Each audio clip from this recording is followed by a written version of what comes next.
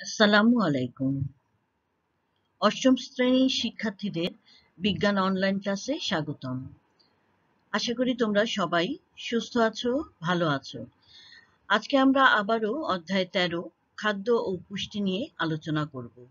আজকের পাঠ ছয় ছয় ও সাত, পর্ব পাঁচ, লেকচার সতেরো। এই লেকচারের প্রথম দিকেই আমরা জেনেছি যে খাদ্যকে উপাদান অনুসারে প্রধানত তিন ভাগে ভাগ করা যায়। প্রথমটি হলো আমিষ, দুই নম্বরে আছে শর্করা বা শ্বেতসার এবং তিন নম্বরে আছে স্নেহ বা চর্বি জাতীয় পদার্থ। এছাড়াও অন্যান্য তিন প্রকার উপাদান আমাদের দেহের জন্য বিশেষ প্রয়োজন। তার মধ্যে একটি হলো খাদ্যপ্রাণ বা ভিটামিন।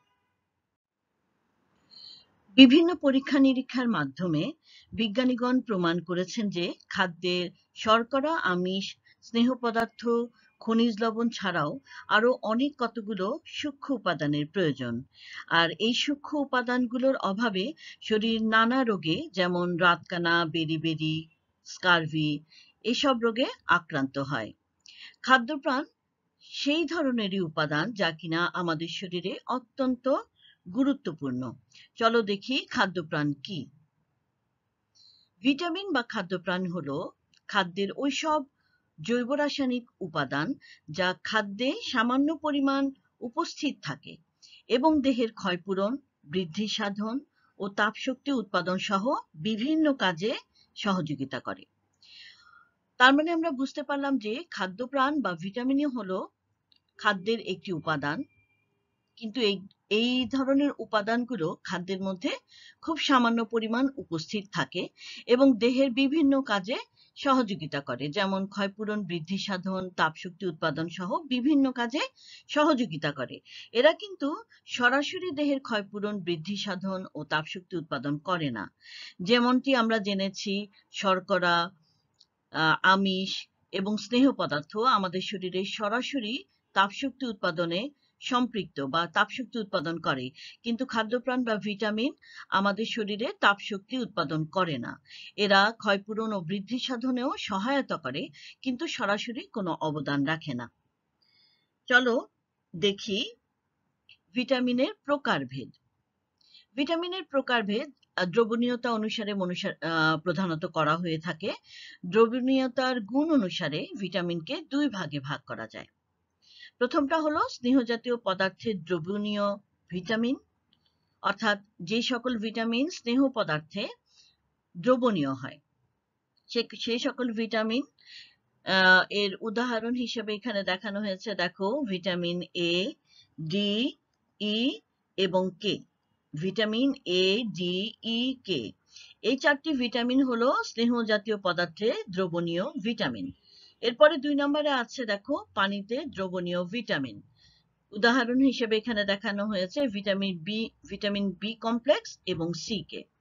তাহলে আমরা বুঝতে পারছি যে দ্রবণীয়তার গুণ অনুসারে প্রধানত ভিটামিনকে দুই ভাগে ভাগ করা যায়, একটি হলো স্নেহ জাতীয় পদার্থের দ্রবণীয় ভিটামিন, আরেকটি হচ্ছে পানিতে দ্রবণীয় ভিটামিন। এবং এর উদাহরণগুলো আমরা দেখলাম। এরপরে আমরা দেখব ভিটামিনের উৎস। সাধারণভাবে আমরা ভিটামিনের উৎসগুলোকে দেখি যে আমরা কোন কোন খাদ্যগুলো খেলে সাধারণত বিভিন্ন ধরনের ভিটামিন আমাদের দেহে আমরা নিতে পারব।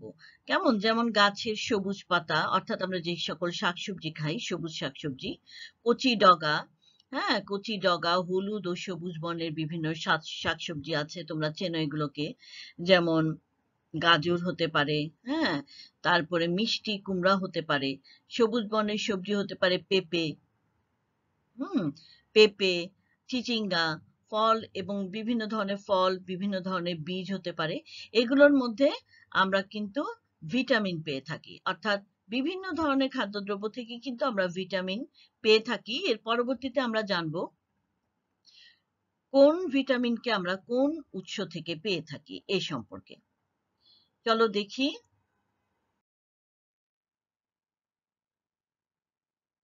ভিটামিন এ ভিটামিন এ সম্পর্কে আমরা এখন একটু আলোচনা করব। চলো দেখি এ সম্পর্কে বিভিন্ন তথ্যগুলো। উৎস। ভিটামিন এ কোন কোন উৎস থেকে আমরা পেয়ে থাকি? চলো দেখি। মাছের তেল ও প্রাণীজ স্নেহে প্রচুর পরিমাণে ভিটামিন এ থাকে। মাছের তেল।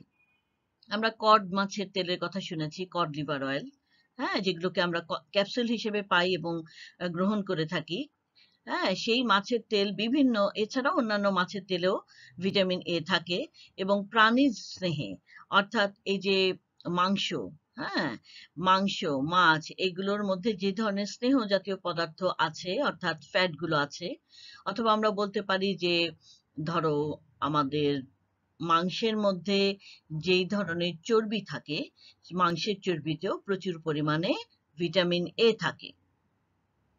এরপরে আছে দেখো ক্যারোটিন সমৃদ্ধ শাকসবজি। অর্থাৎ হ্যাঁ ক্যারোটিন যে সকল শাকসবজির মধ্যে থাকে, সেগুলোতেও আমরা ভিটামিন এ পেয়ে থাকি। যেমন লাল শাক লাল শাক, পুঁই শাক, পালং শাক, টমেটো, গাজর, বিট, মিষ্টি কুমড়া। এগুলোর মধ্যে আমরা প্রধানত ভিটামিন এ পেয়ে থাকি। খেয়াল করে দেখো, লাল শাক হ্যাঁ টমেটো, গাজর, বিট, মিষ্টি কুমড়া, সবই কিন্তু লালচে। কেমন? এগুলোতে ক্যারোটিন বেশি থাকে এবং দেখলেও বাহ্যিকভাবেই বোঝা যায় যেগুলো ক্যারোটিন সমৃদ্ধ। শুধুমাত্র দেখো, পুঁই শাক, পালং শাক, এগুলোর মধ্যে আমরা বুঝতে পারি না, সবুজ রঙের হয়ে থাকে। এগুলোও কিন্তু ক্যারোটিন সমৃদ্ধ শাকসবজি এবং এগুলো থেকে আমরা প্রচুর পরিমাণে ভিটামিন এ পেয়ে থাকি। এ কারণে খাদ্য তালিকায় আমরা চেষ্টা করব ভিটামিন এ এর উৎস হিসাবে আমাদের এই ধরনের শাক পাতাকে বা সবজিগুলোকে হ্যাঁ আমাদের খাদ্য তালিকায় রাখতে। বিভিন্ন ধরনের ফল। বিভিন্ন ধরনের ফলের মধ্যেও আমরা ভিটামিন এ পেয়ে থাকি। দেখো, পেঁপে, আম, কাঁঠাল ইত্যাদি।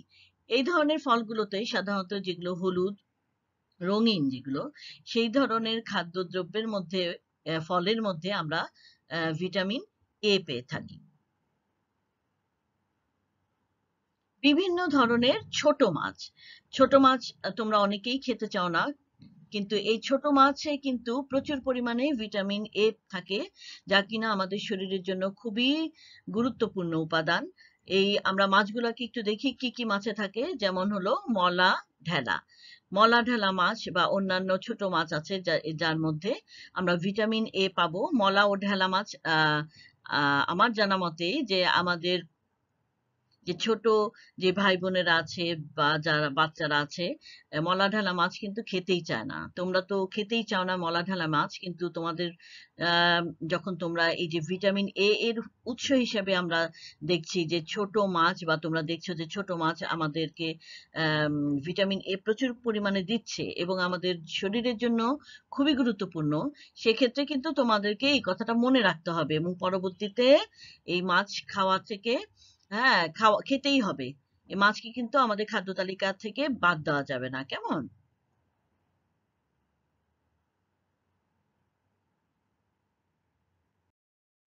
আমরা এতক্ষণ বিভিন্ন উদাহরণ দেখেছি ভিটামিন এর উৎস হিসাবে। এখন আমরা আমাদের সামনে যে চিত্রটি দেখতে পাচ্ছি, এখানেও কিন্তু ভিটামিন এ সমৃদ্ধ বিভিন্ন খাবারকে আমরা দেখতে পাচ্ছি। দেখো, এখানে দেখো ডিম আছে হ্যাঁ? ডিম আছে, তারপরে যে ব্রকলি, ইদানিং আমাদের বাজারে সহজেই পাওয়া যায় ব্রকলি। ব্রকলি দেখতে পাচ্ছি হ্যাঁ? এই যে দেখো, এটাকেও তোমরা চেনো, ক্যাপসিকাম ফল, কমলা, মুসাম্বি হ্যাঁ? তারপরে যে দেখো তেল হ্যাঁ প্রাণীজ তেল এখানে দেখানো হয়েছে, ধনে পাতা, এই সম্পর্কে কিন্তু আমাদের তেমন ধারণা নেই যে এগুলোতেও ভিটামিন এ থাকতে পারে।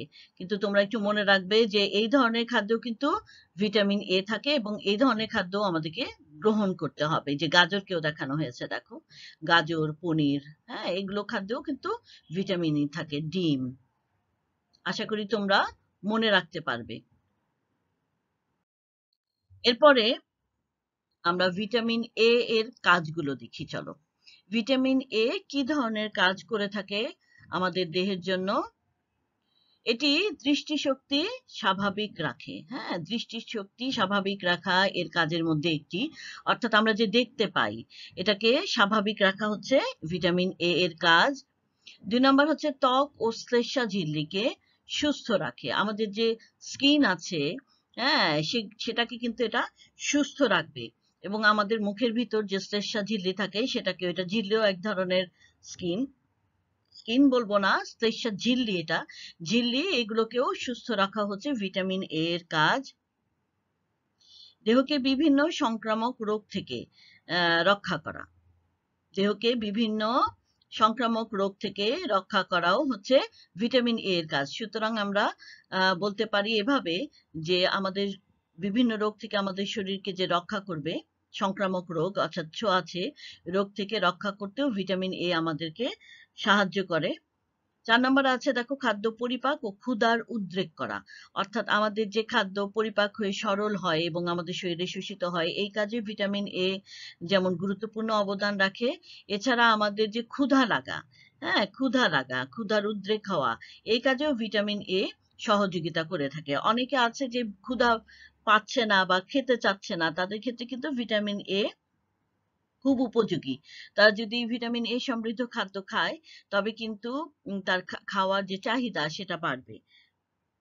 পাঁচ নম্বরে আছে দেখো, রক্তের স্বাভাবিক অবস্থা বজায় রাখা। রক্ত স্বাভাবিক রাখার ক্ষেত্রেও ভিটামিন এ বিশেষ অবদান।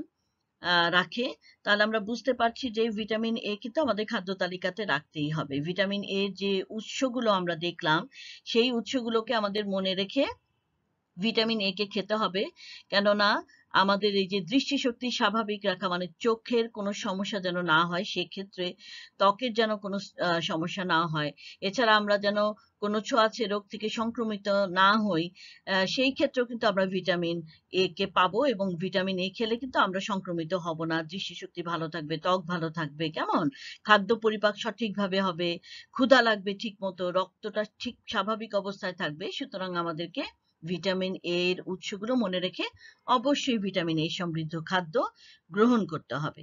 এবং আমাদের যখন প্রশ্ন আসে যে ভিটামিন এ এর অভাব হলে কি সমস্যার সৃষ্টি হয়, তখনও কিন্তু আমরা ভিটামিন এ এর কাজগুলো উল্লেখ করতে পারব। এবং সাথে বিভিন্ন রোগগুলো যে হয়ে থাকে ভিটামিন এ এর অভাবে, সেগুলোকেও আমরা উল্লেখ করব।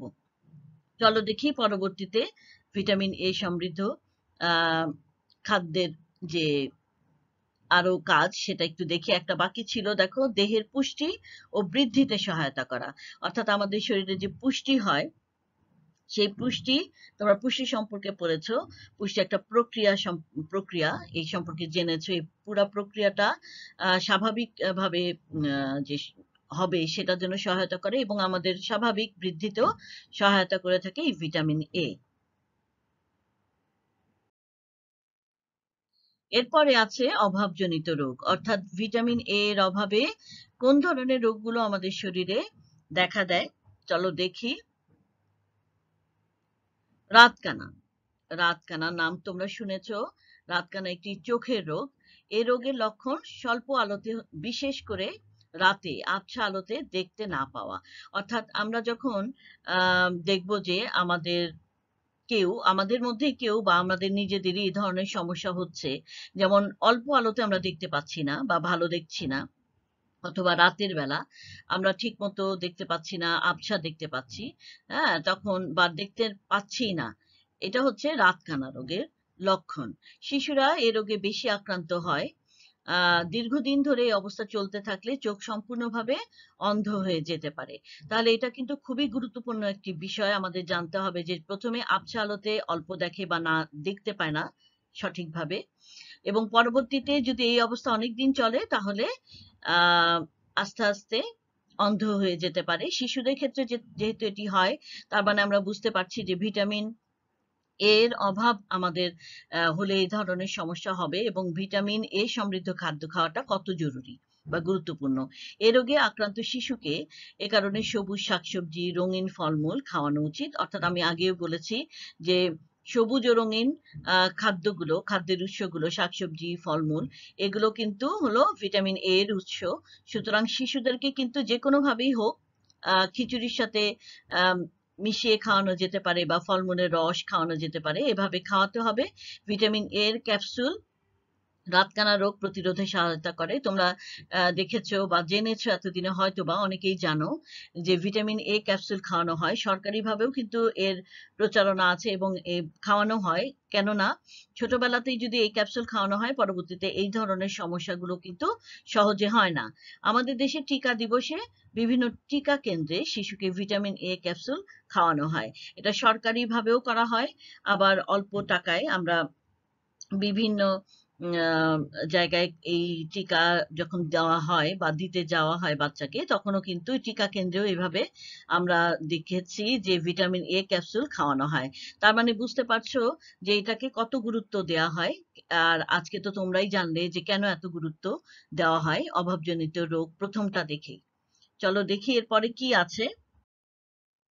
অভাবজনিত রোগের মধ্যে জেরোপথ্যালমিয়া জেরোপথ্যালমিয়া আরেকটি রোগ দেখি এটা কি? ভিটামিন এর অভাব ঘটলে চোখের কর্নিয়ার আচ্ছাদন ক্ষতিগ্রস্ত হয়।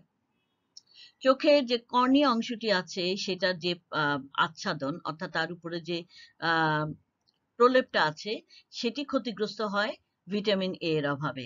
কর্নিয়ার উপর শুষ্ক স্তর পড়ে, অর্থাৎ কর্নিয়ার উপরে পাতলা একটা লেয়ার পড়ে এবং সেটা শুষ্ক। শুষ্ক মানে হলো, সেটা হলো আর্দ্র না, অর্থাৎ ভেজা ভেজা না, খসখসে একটা স্তর।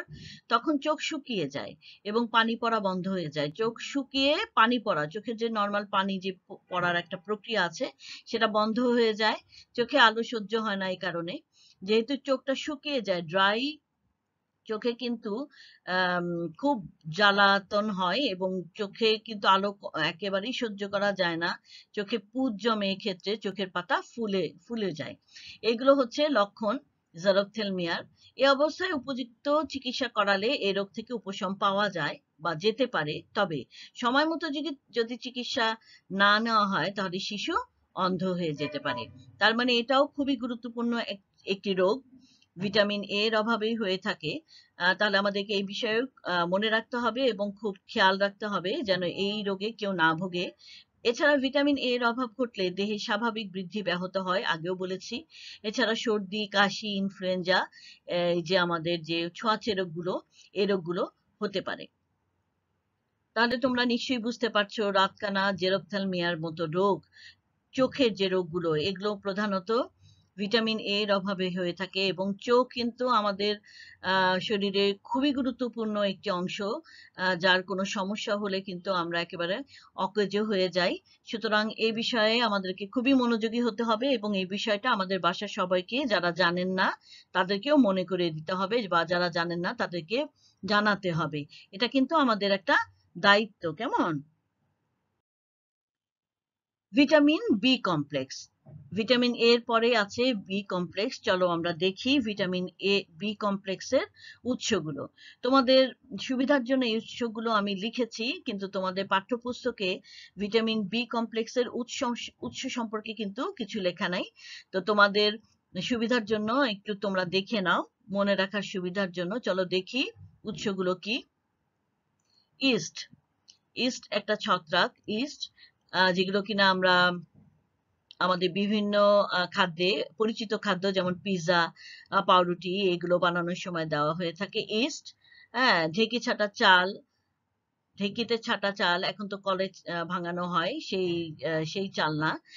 জাতায় ভাঙা আটা বা লাল আটা যেটা আর এই যে ঢেক- ছাটা চালও কিন্তু হচ্ছে লাল চাল হ্যাঁ চালের উপরে একটা প্রলেপ থাকে সেটা থাকা যুক্ত অবস্থায় যে চাল থাকে তাকে বলা হচ্ছে ঢেকি ছাটা চাল। জাতায় ভাঙা আটা বা লাল আটা, অঙ্কুরিত ছোলা, তোমরা অঙ্কুরোদ্গম পড়বে পড়েছো, অঙ্কুরিত হয় কীভাবে ছোলা বীজ সেটাও জেনেছো, তো অঙ্কুরিত ছোলা বীজ বা ছোলা, মুগ ডাল, মটর, ফুলকপি বাদাম কলিজা, দুধ, ডিম, মাংস, সবুজ শাকসবজি ইত্যাদি, এগুলো থেকে আমরা ভিটামিন বি কমপ্লেক্স পেয়ে থাকি। বি কমপ্লেক্স কেন বলা হয়? কেননা এই ভিটামিনের অনেকগুলো রূপ আছে বা ভিন্নতা আছে, সেগুলো সম্পর্কে আমরা জানব। তো বি কমপ্লেক্সের উৎস হিসেবে আমরা এখন যে নামগুলো বললাম, এই এই উৎসগুলো থেকে আমরা কিন্তু ভিটামিন বি কমপ্লেক্স পেয়ে থাকব। কাজ ভিটামিন বি কমপ্লেক্স কি ধরনের কাজ করে? চলো আমরা একটু দেখি। বিশেষ বিশেষ উৎসেচকের অংশ হিসেবে কাজ করে। অর্থাৎ উৎসেচক বা এনজাইম। এনজাইমের অংশ হিসেবে ভিটামিন বি কমপ্লেক্স কাজ করে। আমরা জানি যে এনজাইম আমাদের জন্য কত গুরুত্বপূর্ণ। এই এনজাইমের অংশ হিসেবে কাজ করা মানে হলো যে এনজাইম যে কাজগুলো করে সেগুলোতে সহযোগিতা করে বা সেগুলোতে অংশ নেয়। আমিষ, শর্করা ও স্নেহ পদার্থকে বিশ্লিষ্ট করে মানে ভেঙে ফেলতে সহায়তা করে। ভিটামিন বি কমপ্লেক্স আমিষ শর্করা এবং স্নেহ পদার্থকে ভাঙতে সহায়তা করে। এছাড়া এদের অন্তর্নিহিত, অর্থাৎ আমিষ শর্করা ও স্নেহ পদার্থকে ভেঙে এই এই খাদ্য দ্রব্যগুলোর মধ্যে যে শক্তি থাকে, সেই শক্তিকে মুক্ত করতে সাহায্য করে। অর্থাৎ এই এই জাতীয় খাদ্যগুলো থেকে আমাদেরকে যে শক্তি দেয় এগুলো সেই শক্তিকে মুক্ত হতে, অর্থাৎ শক্তি বের হয়ে আসতে ভিটামিন বি কমপ্লেক্স সহায়তা করে। তাহলে এগুলো খুবই ইম্পর্টেন্ট কাজ এদের। এরপরে আমরা এদের কাজকে আরও বিস্তারিতভাবে, এককভাবে দেখব। চলো দেখি। ভিটামিন বি কমপ্লেক্সের শ্রেণি বিভাগ ও কাজ। অর্থাৎ আমি আগেই বলেছি, ভিটামিন বি কমপ্লেক্সকে বিভিন্ন ভাবে বা বিভিন্নতা আছে, এই জন্য একে শ্রেণি বিভাগ করা হয় এবং শ্রেণি বিভাগের বিভিন্নতার সাথে মিলিয়ে কোনটা কি কাজ করে সেগুলোকে এখন আমরা দেখব। এটি তোমাদের পাঠ্যপুস্তকেই আছে। একটু খেয়াল করে দেখো ভিটামিন বি ওয়ান একে এর নাম হচ্ছে থায়ামিন। ভিটামিন বি ওয়ান একে বলা হয় থায়ামিন। হ্যাঁ এটা কিন্তু খুব ইম্পর্টেন্ট তোমাদের জন্য মনে রাখাটা, কেন কেননা জ্ঞানমূলক প্রশ্ন আসে অবজেক্টিভ কোশ্চেন আসে এগুলো থেকে। এর প্রধান কাজ হলো শর্করা বিপাকে অংশগ্রহণ করে শক্তি মুক্ত করা। অর্থাৎ সরকারি শর্করা যখন বিপাক হয়, তখন এই কাজে ভিটামিন বি ওয়ান বা থায়ামিন অংশগ্রহণ করে এবং শর্করা থেকে শক্তি বের করতে সহায়তা করে। শর্করা থেকে শক্তি মুক্ত করতে সহায়তা করে। এছাড়া স্বাভাবিক যে ক্ষুধা বজায় রাখা মানে আমাদের যে ক্ষুধা লাগার যে প্রবণতা, এটা রাখতেও সহায়তা করায়। এছাড়া স্নায়ুতন্ত্রকে সক্রিয় রাখতে সহায়তা করে। তোমরা কিন্তু স্নায়ুতন্ত্র সম্পর্কেও জেনেছো। স্নায়ুতন্ত্রকে সক্রিয় রাখা খুবই ইম্পর্টেন্ট একটা কাজ। এই কাজেও কিন্তু ভিটামিন বি ওয়ান বা থায়ামিন গুরুত্বপূর্ণ ভূমিকা পালন করে থাকে।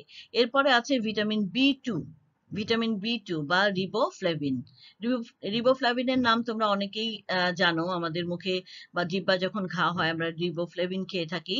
এটা আসলে ভিটামিন বি টু এর অপর নাম হচ্ছে রিবোফ্লেভিন এটাও তোমরা মনে রাখবে।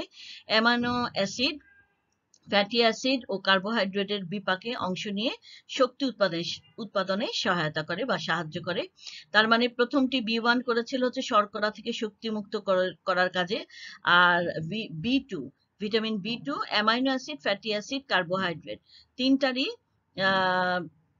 বিপাকে অংশ নেয় এবং শক্তি উৎপাদনে সহায়তা করে। এরপরে দেখো ভিটামিন বি সিক্স যার অপর নাম হচ্ছে পাইরিডক্সিন ভিটামিন বি সিক্স এর নাম হচ্ছে পাইরিডক্সিন। এটি কি করে? শক্তি উৎপাদনে সহায়তা করে।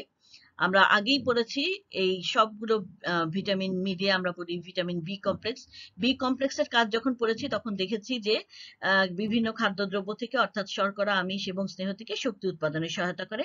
তিনটার ক্ষেত্রেই কিন্তু আমরা তাই দেখলাম, শক্তি উৎপাদনে সহায়তা করে। Vitamin B twelve cyano cobalamin হ্যাঁ সায়ানোকোবালামিন অপর নাম, লোহিত রক্তকণিকা বৃদ্ধি এবং উৎপাদনে সহায়তা করে। লোহিত রক্তকণিকা বৃদ্ধিতে অর্থাৎ উৎপাদনে সহায়তা করে এবং আমাদের জন্য কিন্তু লোহিত রক্তকণিকা খুবই ইম্পর্টেন্ট একটা রক্তকণিকা। কেননা তোমরা জানো যে লোহিত রক্তকণিকার অভাবে আমাদের শরীরে কিন্তু রক্তশূন্যতা হয় এবং আমাদের যে অক্সিজেন যে পরিবাহিত হয় লোহিত রক্তকণিকার মধ্য দিয়ে, সুতরাং খুবই গুরুত্বপূর্ণ আমাদের জন্য লোহিত রক্তকণিকা। এর বৃদ্ধি এবং উৎপাদনে B twelve vitamin B twelve বা সায়ানোকোবালামিন সহায়তা করে। এছাড়া শ্বেত রক্তকণিকা এবং অনুচক্রিকার সংখ্যা বৃদ্ধিতেও কিন্তু সহায়তা করে। তার মানে হচ্ছে সমস্ত রক্তকণিকার বৃদ্ধিতে সায়ানোকোবোলামিন খুবই গুরুত্বপূর্ণ ভূমিকা পালন করে। সুতরাং রক্ত বৃদ্ধিতে ভিটামিন বি টুয়েলভ আমাদেরকে সহায়তা করবে। আমাদের এই ধরনের সমস্যা হলে আমরা ভিটামিন বি টুয়েলভ খাব।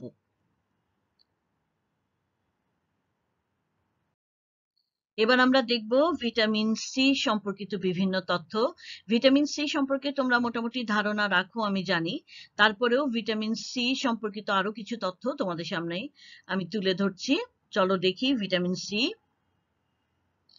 এটি দেহের জন্য খুবই প্রয়োজনীয় একটি উপাদান। অবশ্যই এটি পানিতে দ্রবীভূত হয়। আমরা জানি যে ভিটামিনকে দুইটি শ্রেণীতে ভাগ করা হয়, দুইটি ভাগে ভাগ করা হয়।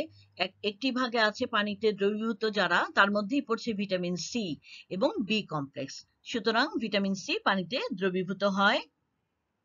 সামান্য তাপে নষ্ট হয়ে যায়। ভিটামিন সি সম্পর্কিত এটি একটি খুবই গুরুত্বপূর্ণ তথ্য। আমাদের সবাইকে মনে রাখতে হবে যে ভিটামিন সি এর উৎস হিসেবে আমরা যে সকল খাদ্যদ্রব্য বা যে সকল ফল, মূল, শাকসবজি খেয়ে থাকি, সেগুলোকে যতটা সম্ভব কাঁচা খাওয়াই আমাদের জন্য ভালো। যেমন বিভিন্ন টক যে ফলগুলো আছে, ভিটামিন সি সমৃদ্ধ, সেগুলোকে আমরা কাঁচা খাব। এবং যে সকল খাদ্যের মধ্যে ভিটামিন সি আছে, সেগুলো খেয়াল করব যেন রান্না করা না হয়। তারপরেও আমাদের অনেক কিছুই আছে যেগুলো থেকে আমরা অনেক ধরনের উপাদান পেয়ে থাকি। সেগুলোতে ভিটামিন সি থাকলে সেগুলো তো রান্না করে খেতেই হবে, তাই না? তো ভিটামিন সি সমৃদ্ধ খাদ্য কিন্তু সামান্য তাপে নষ্ট হয়ে যায়। দেহে জমা থাকে না। এটাও খুবই গুরুত্বপূর্ণ একটি তথ্য। তাই প্রতিদিন আমাদেরকে ভিটামিন সি সমৃদ্ধ খাদ্য খেতে হয়। অন্যান্য ভিটামিন সমৃদ্ধ খাদ্য বা অন্যান্য ভিটামিন কিন্তু আমাদের শরীরে যদি প্রবেশ করে খাদ্যের সাথে, তবে কিন্তু বা আমরা যদি ওষুধ হিসেবে খাই, সেটা আমাদের শরীরে জমা থাকে। ফলে এটা কিন্তু প্রতিদিন না খেলেও হয় অন্যান্য ভিটামিনগুলো কিন্তু ভিটামিন সি এমন একটি ভিটামিন যা কিন্তু আমরা আমাদের শরীরে যদি আমরা খাদ্য গ্রহণের মাধ্যমে বা খাদ্যের মাধ্যমে গ্রহণ করি, তারপরেও নিশ্চিত যে এটা একদিনই থাকবে, প্রতিদিনই তাই খেতে হবে। মানে একদিন থাকবে মানে খুব অল্প সময়ের জন্যই যখন খাব তখনই থাকছে, কাজ করছে। অনেক দিন যে থাকবে এমন না, তাই প্রতিদিন আমাদেরকে ভিটামিন সি সমৃদ্ধ খাদ্যকে আমাদের খাদ্য তালিকায় অবশ্যই রাখতে হবে। উৎস, অর্থাৎ কোথা থেকে আমরা ভিটামিন সি পাবো বা কি ধরনের খাদ্য গ্রহণ করলে আমরা ভিটামিন সি পাবো? চলো দেখি টক জাতীয় ফল। আমরা আগেও জেনেছি, কিছুক্ষণ আগেও বলেছি টক জাতীয় ফলগুলোতে ভিটামিন সি থাকে বেশি করে, যেমন আমলকি, আনারস, পেয়ারা, কমলা লেবু লেবু, আমরা আমরা ইত্যাদি। লেবু জাতীয় যে সকল ফল আছে, সেগুলোর মধ্যে খুব বেশি পরিমাণে আমরা ভিটামিন সি পেয়ে থাকি শাকসবজি। যেমন সবুজ শাকসবজি, ফুলকপি, বাঁধাকপি, টমেটো, লেটুস পাতা, এগুলো কিন্তু টক না। কিন্তু এগুলো ভিটামিন সি এর উৎস। সুতরাং আমাদের মনে রাখতে হবে। যেমন লেটুস পাতা কাঁচা খাওয়া যায়। সুতরাং লেটুস পাতা যদি আমরা সালাদ হিসেবে খাচ্ছি, আমরা, এই লেটুস পাতাকে সালাদ হিসেবে যখন খাব, সাথে লেবু নিব, তাই না? বাঁধাকপি নেই আমরা অনেক সময়। তারপরে অনেক জায়গায় দেখা যায় যে বিভিন্ন শাক জাতীয় দ্রব্য কিন্তু বা খাদ্য আমরা সালাদে দিয়ে থাকি, সেই ক্ষেত্রে বুঝতে পারছি যে আমরা কিন্তু সালাদের মধ্যে ভিটামিন সি এর উৎসগুলোকে মিলিয়ে সালাদ তৈরি করতে পারি। তাহলে আমাদের জন্য অনেক বেশি সেটা উপকারিতা আনবে। উপকারী হবে আমাদের জন্য বা গুরুত্বপূর্ণ হবে। খাদ্য তালিকা অবশ্যই এভাবে আমাদেরকে ভিটামিন সি কে রাখতে হবে। এছাড়া কাঁচা সবজি এবং ফলে বেশি পাওয়া যায়। আমি আগেও বলেছি যে কাঁচা সবজিতে পাই। আচ্ছা দেখি মানে কাঁচা সবজি ও ফল মানে বোঝানো হচ্ছে এখানে যে আমরা যে পাকা খাই, পাকা সবজি, ফল, যেমন মনে করো পাকা হিসেবে বলি সবজি, যেমন পেঁপের কথা আমরা বলতে পারি, যে সবজি হিসেবে যখন আমরা খাচ্ছি কাঁচা পেঁপে, তখন ওর মধ্যে কিন্তু বেশি পরিমাণে আমরা পাবো কি? Vitamin C. আবার যখন পেকে যাবে, তখন কিন্তু আমরা ভিটামিন সি তেমন পরিমাণে ওটা থেকে পাবো না। হ্যাঁ তাহলে কাঁচা সবজির মধ্যে আমরা যেই পরিমাণ ভিটামিন সি পাবো, সেটা পেকে গেলে তার মধ্যে কিন্তু আর পাবো না। ঠিক একইভাবে ফলের ক্ষেত্রেও প্রযোজ্য যে যে অনেক ফল আছে যেগুলোকে আমরা কাঁচা খেলে বেশি পরিমাণে ভিটামিন সি পাবো, যেমন আম হতে পারে। হ্যাঁ বেশি পরিমাণে ভিটামিন সি পাবো আমরা কাঁচা আমে। পাকা আমে কিন্তু ভিটামিন সি এর পরিমাণটা আমরা অত বেশি পাবো না। ভিটামিন সি এর কাজ। চলো দেখি ভিটামিন সি আমাদের দেহের জন্য কীভাবে কাজ করে থাকে এবং কি কাজগুলো করে থাকে। পেশি ও দাঁত মজবুত করে। আমাদের পেশি বা মাংস পেশি যেটা, সেটাকে মজবুত করে এবং দাঁতকে মজবুত করে এই ভিটামিন সি ক্ষত নিরাময় করে।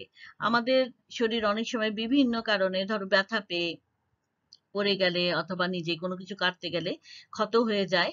হ্যাঁ চিড়ে যায়, কেটে যায় পড়ে গেলে ছিলে যায়, এই ধরনের ক্ষত নিরাময় করে, অর্থাৎ খুব তাড়াতাড়ি শুকাতে সহায়তা করে। তোমরা খেয়াল করে দেখবে যে আমরা যখন এই ধরনের আঘাত পাই এবং আমাদের শরীর ক্ষত বিক্ষত হয়, তখন কিন্তু ক্ষত যেন তাড়াতাড়ি সেরে যায়, এই কারণে আমাদেরকে ভিটামিন সি সমৃদ্ধ খাদ্য খেতে বলে। অনেক সময় ভিটামিন সি এর ক্যাপসুল ইয়ে ট্যাবলেটও আমাদেরকে খেতে বলা হয় ডাক্তার পরামর্শ দিয়ে থাকে বাসায়। মা বাবারাও কিন্তু আমাদেরকে ভিটামিন সি সমৃদ্ধ খাদ্য খেতে বলেন এবং খেতে দেন। তিন নম্বরে আছে চর্মরোগ রোধে সহায়তা করে। চর্মরোগ মানে হচ্ছে স্কিন ডিজিজ। বিভিন্ন ধরনের স্কিন ডিজিজ ভিটামিন সি এর অভাবে হয়ে থাকে এবং এই রোগ থেকে পরিত্রাণ পাওয়ার জন্য আমরা কিন্তু ভিটামিন সি সমৃদ্ধ খাদ্য খাব। চার নম্বরে আছে দেখো কণ্ঠনালী। ও নাকের সংক্রমণ প্রতিরোধ করে। আমাদের কণ্ঠ নালীতে অনেক সময় দেখা যায় যে ইনফেকশন হয়, নাকের মধ্যে ইনফেকশন হয়। এই ধরনের ইনফেকশনগুলো হবে না যদি আমরা ভিটামিন সি সমৃদ্ধ খাদ্য রেগুলার খাই। রেগুলারলি যদি আমরা এই অভ্যাসটা গড়ে তুলি যে আমরা প্রতিদিন ভিটামিন সি সি সমৃদ্ধ খাদ্যগুলো খাব। আমরা তো উৎসগুলো মোটামুটি চিনেই গিয়েছি। আগের থেকেও অনেকগুলো উৎস সম্পর্কে আমাদের ধারণা আছে। তাহলে ভিটামিন সি সমৃদ্ধ খাদ্য যদি আমরা প্রতিদিন খাই, তাহলে কিন্তু কণ্ঠনালী বা গলার এবং নাকের যে ইনফেকশনগুলো হয়, এই ইনফেকশনগুলো আমাদের আর সহজে হবে না। এরপরে দেখো, অভাবজনিত রোগ। অর্থাৎ ভিটামিন সি এর অভাবে যে রোগগুলো হয় সেগুলো একটু দেখি। এতক্ষণ কাজ দেখেছি। এখন দেখি প্রথম, প্রথমে আছে স্কারভি। স্কারভি একটি রোগ, আমরা জানি। স্কারভি রোগে কি হয় দেখো? দাঁতের মাড়ি ফুলে নরম হয়ে যায়। দাঁতের মাড়ি ফুলে নরম হয়ে যায়, দাঁতের গোড়া আলগা হয়ে যায় এবং গোড়া থেকে রক্ত পড়ে। এটা কিন্তু খুবই কমন একটা রোগ। অনেক ক্ষেত্রে এরকম আমরা অনেকের ক্ষেত্রে দেখে থাকি যে দাঁতের মাড়ি ফুলে যায় হ্যাঁ দাঁতের গোড়া থেকে রক্ত পড়ে, তাই না? দাঁতের এনামেল উঠে যায়। দাঁতের এনামেল দাঁতের একটি অংশ এবং এটা উঠে যায় উপরের অংশটুকু উপরে যে লেয়ার বা স্তরটা থাকে সেটা উঠে যায়, এতে অকালে দাঁতটা পড়ে যায়। খুব সহজেই দাঁত পড়ে যায়। যখন দাঁত পড়ার সময় না, তখনই পড়ে যেতে পারে। শিশু এবং বয়স্কদের এ রোগ বেশি হয়। সুতরাং শিশু এবং বয়স্কদের ক্ষেত্রে আমাদের খেয়াল রাখতে হবে, ভিটামিন সি সমৃদ্ধ খাদ্য কিন্তু প্রতিনিয়ত তাদেরকে দিতে হবে। গ্রন্থি ফুলে যায়। আমাদের শরীরে অনেক ধরনের গ্রন্থি আছে। সে সম্পর্কেও পরবর্তীতে তোমরা বড় হলে জানতে পারবে। এই গ্রন্থিগুলো কি হয়? ভিটামিন সি এর অভাবে ফুলে যায় এবং মুখে ব্যথা হয়। অনেক সময় দেখা যায় মুখের মধ্যে ব্যথা হয়। এটাও ভিটামিন সি এর কারণে হয়ে থাকে স্কারভি রোগে। রক্তক্ষরণ সহজে বন্ধ হয় না। আগেও তোমাদেরকে বলেছি, ক্ষত নিরাময়ে কিন্তু ভিটামিন সি কার্যকর। হ্যাঁ ঘা শুকাতে দেরি হয়। এই ভিটামিন সি এর অভাবে ক্ষত শুকাতে বা ঘা শুকাতে দেরি হয়। এছাড়া যদি কোনো কারণে কেটে যায় শরীরের কোনো অংশ, তাহলে কিন্তু রক্তক্ষরণ সহজে বন্ধ হয় না। সুতরাং ভিটামিন সি কিন্তু এ কাজেও সহায়তা করে। আর স্কার্বি রোগেও এই ধরনের সমস্যা দেখা যায় যে রক্তক্ষরণ সহজে বন্ধ হবে না, ঘা শুকাতে দেরি হবে। এটা দেখলে আমরা বুঝব যে আমাদের স্কার্ভি হয়েছে বা হতে পারে। অন্যান্য রোগ, বিশেষ করে সর্দি, কাশি, খুব সহজে আক্রমণ করে। এগুলো হচ্ছে স্কার্ভি রোগের বিভিন্ন লক্ষণ। অর্থাৎ স্কার্ভি হলে এই যে আমরা ছয়টা লক্ষণ দেখলাম, এই ছয়টা লক্ষণ আমাদের মধ্যে দেখা দিবে। তারপরেও আমরা নিজেরাই এতে একেবারে এই লক্ষণ দেখলেই যে স্কারভি হয়েছে তা বুঝতে পারলেও আমরা একেবারে নিশ্চিত হতে পারব না। কেননা এটা কিন্তু এর কাজে বা নিশ্চিত হওয়ার কাজে আমাদেরকে কিন্তু চিকিৎসকরাই সহায়তা করবেন। আমরা নিজেরা এর ব্যাপারে কোনো ডিসিশনে আসতে পারব না। কেমন? এরপরে আছে অভাবজনিত রোগের মধ্যে আরেকটি যে প্রাপ্তবয়স্ক যারা দেহে ভিটামিন সি এর অভাব হলে প্রকট যদি হয়ে যায়, অভাবটা যদি অনেক বেশি হয়, যে ভিটামিন সি একেবারেই নাই শরীরের মধ্যে, তাহলে বেশ কিছু লক্ষণ তাদের মধ্যে দেখা দেয়। দেখো, আমরা দেখছি এখানে হাড়ের গঠন শক্ত ও মজবুত হতে পারে না। অর্থাৎ আমাদের হাড় কিন্তু ভঙ্গুর হয়ে যায়। হাড়টা যে আমাদের নর্মালি আমাদের হাড় কি হয়? অনেক শক্ত, অনেক মজবুত থাকে, তাই না?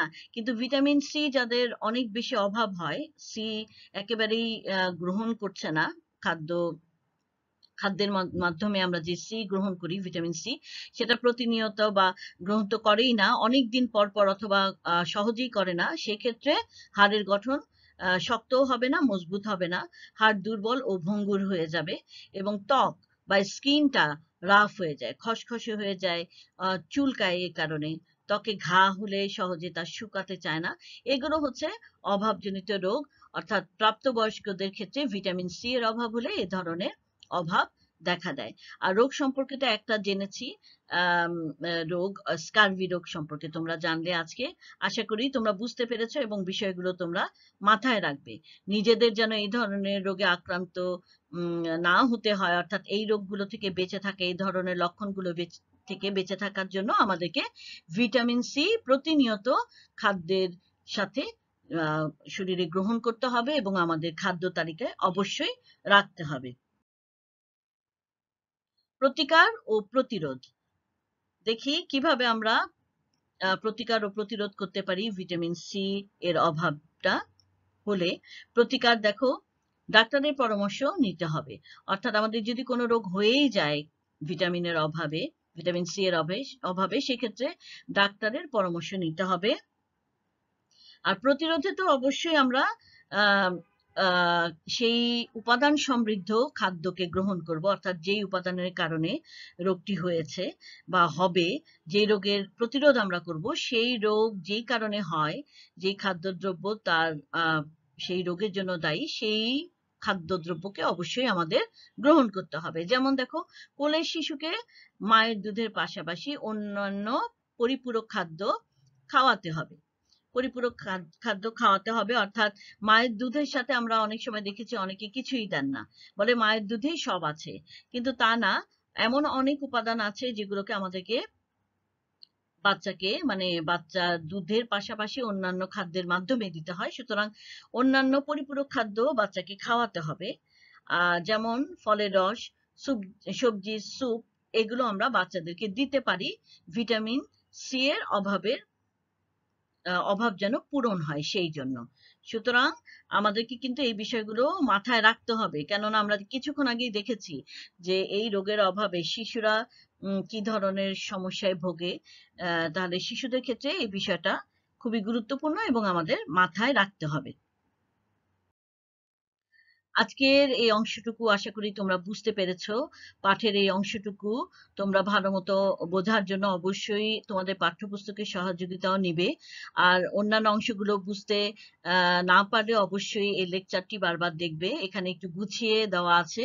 বইটিতেও সুন্দর করে দেওয়া আছে, তবে কিছু অংশ যেগুলো গুছিয়ে দেওয়া নাই, সেগুলো তোমাদের জন্য গুছিয়ে উপস্থাপন করার চেষ্টা করেছি। তো চলো এই অংশটা থেকে তোমাদের জন্য কিছু বাড়ি কাজ দিই। বাড়ি কাজগুলো তোমরা করো সুন্দর মতো। এক নম্বরে আছে খাদ্যপ্রাণ বা ভিটামিন কি? এটা একটা জ্ঞানমূলক প্রশ্ন। দুই নম্বরে আছে ভিটামিন প্রধানত কত প্রকার ও কি কি? এটা একটি অনুধাবনমূলক প্রশ্ন। এটা প্রয়োগমূলক প্রশ্ন হতে পারে। তিন নম্বরে আছে ভিটামিন এ এর উৎসগুলো লিখো। ভিটামিন এর উৎসগুলো লিখো। এটা অনুধাবনমূলক প্রশ্নই হয় সচরাচর। চার নম্বরে আছে vitamin A oblique B complex oblique vitamin C এর কাজগুলো লিখো। অর্থাৎ এখানে তিনটা প্রশ্নকে একসাথে লিখেছি, যেহেতু একই ধরনের প্রশ্ন। ভিটামিন এ এর ক্ষেত্রেও আসতে পারে বি কমপ্লেক্সের ক্ষেত্রেও আসতে পারে, অন্যান্য ভিটামিনের ক্ষেত্রেও আসতে পারে। কাজগুলো লিখো। অর্থাৎ এটা একটা অনুধাবনমূলক প্রশ্ন। এটা এভাবে আসতে পারে যে ভিটামিন এ এর কাজগুলো ব্যাখ্যা করো। পাঁচ নম্বরে আছে vitamin A oblique B complex oblique vitamin C এর অভাব হলে দেহে কি ধরনের সমস্যার সৃষ্টি হবে ব্যাখ্যা করো। এটা একটা অনুধাবনমূলক প্রশ্ন না, এটা একটা প্রয়োগমূলক প্রশ্ন এবং এটাকে সুন্দর করে ব্যাখ্যা করতে পারবে তোমরা আশা করি, কারণ কেননা এখানে আমরা কাজও দিয়েছি এবং অভাবজনিত রোগও দিয়েছি। তাহলে কাজগুলো ভিটামিন এ এর ক্ষেত্রে যদি এই ধরনের প্রশ্ন আসে, তাহলে আমরা, তোমরা বলতে পারবে যে ভিটামিন এ এর যে কাজগুলো হয়, সেই কাজগুলো হবে না যদি ভিটামিন এ এর অভাব হয়। সেই ক্ষেত্রেও তোমরা ব্যাখ্যা দিবে এবং এর অভাবে যে রোগগুলো হয়, সেটাও দিবে যে ভিটামিন এ এর অভাব হয়ে গেলে দেহে এই ধরনের রোগ হবে, অর্থাৎ এই ধরনের সমস্যার সৃষ্টি হবে। ছয় নম্বরে আছে মানব দেহে vitamin A B complex vitamin C এর গুরুত্ব আলোচনা করো। এটা উচ্চতর দক্ষতা ভিত্তিক প্রশ্ন একটি, এক্ষেত্রেও কিন্তু আমরা এই ভিটামিনগুলোর কাজ এবং অভাবজনিত রোগই উল্লেখ করব। সেই ক্ষেত্রে আলোচনা করবে তোমরা এই বিষয়গুলোকে। আশা করি তোমরা এই প্রশ্নগুলোর সমাধান খুব সহজেই করতে পারবে। এতক্ষণ সাথে থাকার জন্য তোমাদেরকে অসংখ্য অসংখ্য ধন্যবাদ। আল্লাহ হাফেজ।